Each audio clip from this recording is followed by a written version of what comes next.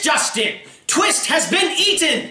Surprising? No. But who did it? Did Spike eat her? Did Discord turn her into chocolate milk and drink her? Did Fluttershy succumb to her dark delights and feast on the forbidden flesh she's always dreamed of? No. Fluttershy ate a bowl of rice instead. But we're on to you, Fluttershy!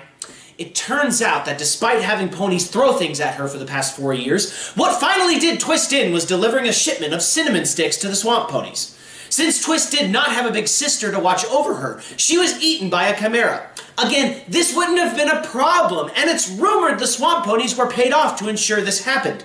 But this is the fourth pony to be eaten en route to the swamp ponies in the last year.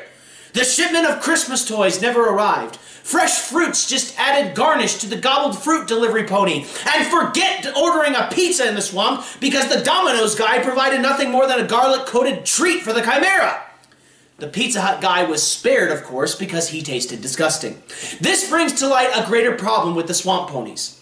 You have an entire group of ponies who live surrounded by deadly animals and burning ducks. How can they keep their children safe? Games of hide and seek in the swamp are brutal, and you know who wins? The Chimera wins. That's who wins. Princess Celestia has attempted to relocate the swamp ponies, but they refuse. We asked for a statement from the mayor of the swamp ponies, who quoted, My father hid in fear at night from creatures hungry for pony flesh, as did his father before him. We won't leave these lands, even if I have to lose the five remaining children I have left to the Chimera. Wait, where's Gumbo?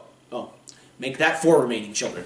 A follow-up interview was attempted, but we recently learned that a monster, only whispered in fear by ponies in the dark, has devoured every single last swamp pony.